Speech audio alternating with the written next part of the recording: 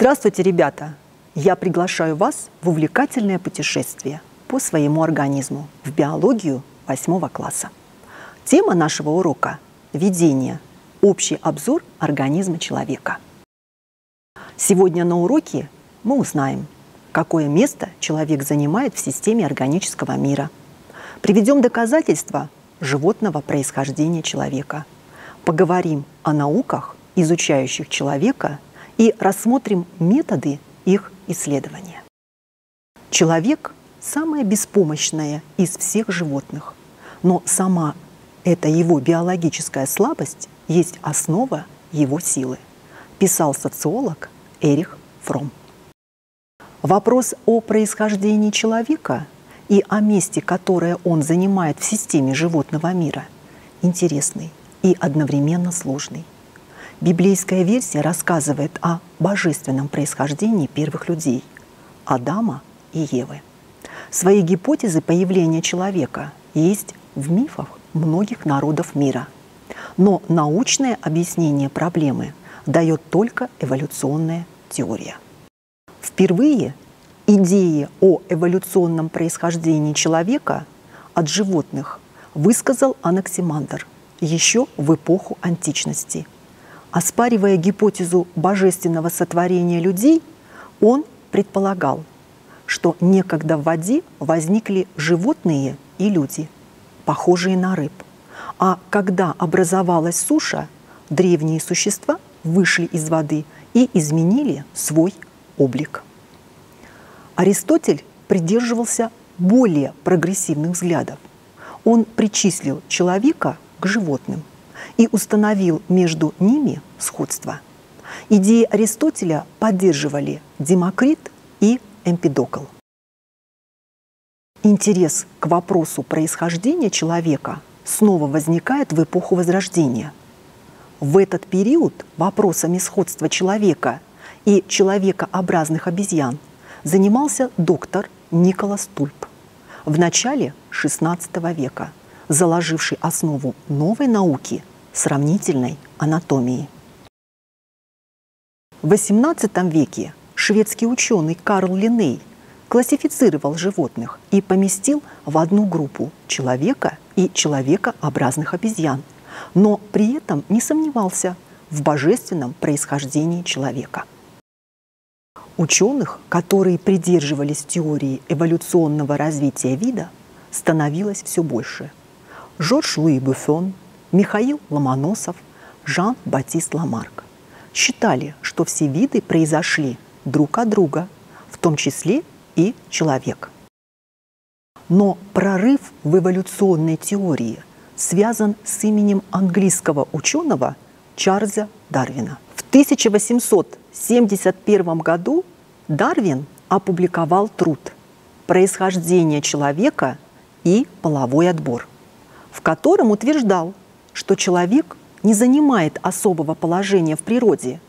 Он представляет высшее звено в цепи развития всего живого. Дарвин доказал, что человек и современные человекообразные обезьяны имеют общих вымерших предков.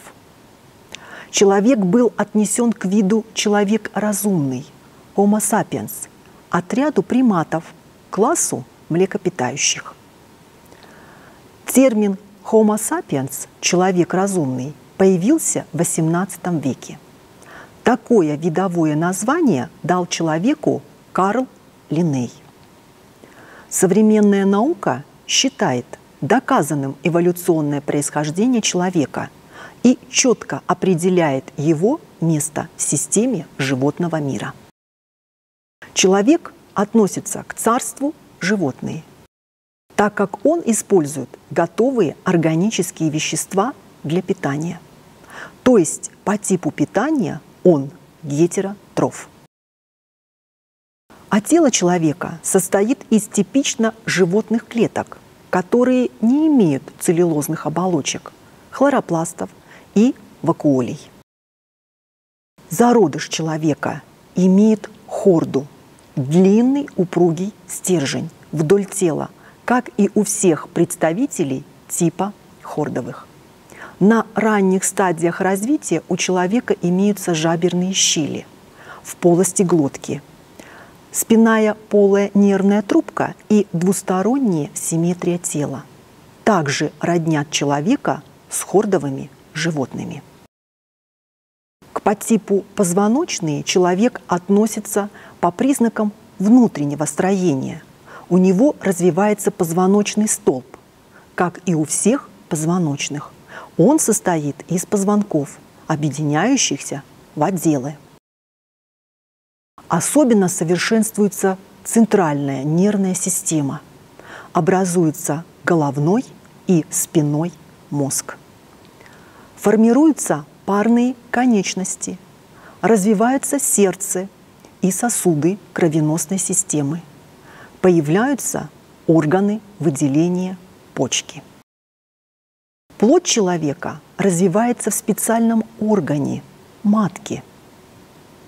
Для человека характерны живорождение и вскармливание детей молоком. Все это типично для класса млекопитающие. Человек имеет сходное с другими млекопитающими строение систем органов. У него есть диафрагма, грудная и брюшная полости, ушные раковины. Но есть и рудименты, органы, развитые у других видов, но атрофированные у человека в ходе эволюции. К таким органам относятся аппендикс и остаток третьего века. Известны случаи рождения детей с рудиментарными признаками, с густым волосяным покровом тела, большим числом сосков – удлиненным хвостовым отделом позвоночника. Это атовизмы или возврат к животным предкам. Как и многие другие представители отряда приматов, человек имеет пятипалые конечности, ногти вместо когтей, большой палец руки противопоставлен остальным – наблюдается сходство и в поведении человека и человекообразных обезьян. Выражение чувств радости, гнева, печали, забота о детенышах, хорошая память, развитая высшая нервная деятельность, использование предметов как орудий труда, сходные болезни. Все люди – населяющие Землю в настоящее время, принадлежат к одному биологическому виду. Как биологический вид Homo sapiens – человек – обладает рядом признаков. Главный из них – генетический критерий. Типичный для вида набор хромосом, возможность скрещиваться и давать потомство. В ходе эволюции человек приспособился – к разным условиям среды и распространился по всей Земле. В становлении человека разумного биологи отмечают важность социального фактора. Личность формируется под влиянием ряда окружающих условий – речи, труда, учебы, воспитания, общения с людьми, которые его окружают. Организм человека приобрел особенности, сочетания которых дают ему решающее преимущество перед другими видами. Многие люди не знают, какими резервами обладает их организм и как можно сохранять, развивать и использовать эти резервы, чтобы продлить жизнь на долгие годы. Необходимо изучать свой организм. Это даст возможность понять, как он работает – научит защищаться от болезней. Человек – объект изучения многих наук – анатомии, физиологии, гигиены, генетики, экологии, антропологии. Исследования организма человека начались еще в глубокой древности. Гиппократ, выдающийся древнегреческий ученый, всю жизнь посвятил изучению анатомии, эмбриологии и физиологии человека. Великими учеными своего времени были Платон, Аристотий, Клавдий Гален, Авиценна. Огромный вклад в развитие анатомии внес итальянский ученый и художник эпохи Возрождения Леонардо да Винчи. Он положил начало пластической анатомии, исследовал тело и внутреннее строение человека, сделал большое количество рисунков тела, костей скелета, мышц, внутренних органов. Свои рисунки Леонардо да Винчи сопровождал письменными пояснениями. Русский ученый Иван Михайлович Сеченов вошел в историю науки как физиолог, исследовавший сознание человека. Развитие физиологии стало возможным, в том числе благодаря работам Ивана Петровича Павлова. Он создал учение о высшей нервной деятельности человека и животных. В настоящее время анатомия, физиология и гигиена являются фундаментальными науками. Познакомимся с ними. Анатомия – наука о строении организма и его органов. Термин «анатомия» происходит от греческого слова «анатоме», что означает «рассечение». И, следовательно, один из самых древних методов анатомии – это вскрытие мертвого тела человека и его изучение. Без анатомии нет ни терапии, ни хирургии, а одни лишь приметы, да, предрассудки, писал известный московский врач Губарев. Организм человека состоит из большого числа органов, огромного количества клеток – Основными методами анатомического исследования являются осмотр тела и вскрытие, а также наблюдение, изучение отдельного органа или группы органов, их внутреннего клеточного строения. Для этого используются современные технические средства.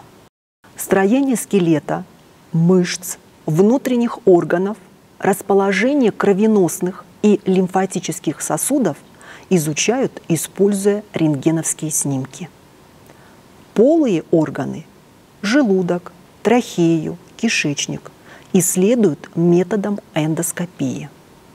Метод ультразвукового исследования или УЗИ, который основан на анализе отражения ультразвуковых волн от органов и тканей, применяют для изучения внутренних органов – с помощью УЗИ можно установить границы тканей, выявить изменения, наличие опухолей, камней, расширение или сужение крупных сосудов. Еще один метод исследования – компьютерная томография – изучает строение тела человека с учетом положения органов и их взаимодействия друг с другом. Анатомия изучает строение и функции органов с учетом происхождения человека. Строение тела современных людей является результатом эволюции, приспособления к условиям внешней среды. Для понимания истории развития человека анатомия использует данные палеонтологии, изучает ископаемые останки костей – Каждому человеку присущи индивидуальные особенности строения, которые изучает систематическая анатомия. Эта наука прослеживает индивидуальную изменчивость, разные варианты строения тела. Систематическая анатомия установила, что поверхность головы составляет 9%, каждая верхняя конечность 10%, нижняя 19%, а ладонь 1% тела. Наряду с анатомией развивалась физиология. Физиология – наука о жизненных функциях организма и его органов. Наблюдая и изучая жизненные процессы, Физиолог стремится дать им качественную и количественную характеристику, то есть точно описать и измерить их.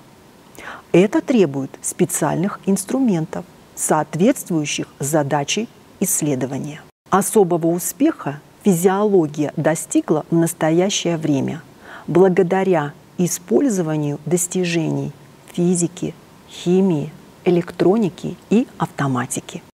Электрокардиография – метод исследования работы сердца, который отображает проблемы, возникающие при его деятельности. Исследование производится при помощи аппарата электрокардиографа. Важное место в физиологии занимает метод микроскопического исследования. Микроскопическое исследование является частью общего клинического анализа крови или других жидкостей организма. Этот метод дает важную информацию о состоянии здоровья человека. Анатомия и физиология дали начало гигиене. Гигиена – наука о создании условий для сохранения и укрепления здоровья. Ее цель – изучение условий жизни, работы и отдыха людей для сохранения и укрепления здоровья. Методы исследования, используемые этой наукой, разнообразны. С помощью химических методов проводятся анализы состава воздуха или воды. Определяется наличие вредных веществ. Физические методы играют существенную роль в исследовании температуры, влажности, движения воздуха, шума, теплового излучения последние годы стали широко применяться методы оценки радиоактивности воздушной среды, воды, пищевых продуктов, строительных материалов. Бактериологические методы исследования применяются для определения содержания в почве, воздухе, воде, пище микроорганизмов, которые могут оказаться причиной заражения людей инфекционными болезнями. В стране действуют санитарно-эпидемиологические центры и санитарно-эпидемиологические станции. Их задача – несение санитарной службы в пределах определенного региона. Инспекторы этих центров могут остановить работу любого предприятия если технология производства или продукция не соответствует санитарным нормам. Закрыть торговые точки, где не соблюдаются гигиенические правила или продается опасный для здоровья товар. Санитарные врачи устанавливают источники заболеваний и при необходимости объявляют карантин, изоляцию территории, где появилась опасная инфекция. Это помогает предупредить распространение инфекции. Карантин может быть введен в детском саду, школе, больнице. Санитарная служба оказывает помощь и в охране окружающей среды от загрязнений. Гигиенические знания необходимы всем людям. Они позволяют успешно бороться со многими болезнями, разрабатывать меры профилактики для сохранения окружающей природы и здоровья человека. Французский философ и писатель Мишель Монтенье писал, «Здоровье – это капитал, данный человеку природой изначально, потеряв который, трудно вернуть обратно. Ребята, будьте здоровы, берегите свое здоровье. Ребята, Сегодня на уроке мы определили место человека в системе органического мира. Человек относится к царству животных, типу хордовых, подтипу позвоночных, класс млекопитающие, отряд приматы, вид человек разумный, Homo sapiens. Мы доказали животное происхождение человека – поговорили о рудиментах и атовизмах, узнали о науках, изучающие человека, анатомии, физиологии и гигиене. Ребята, обратите, пожалуйста, внимание на информационные ресурсы, которые были использованы для подготовки к уроку. На этом наш урок завершен. До новых встреч!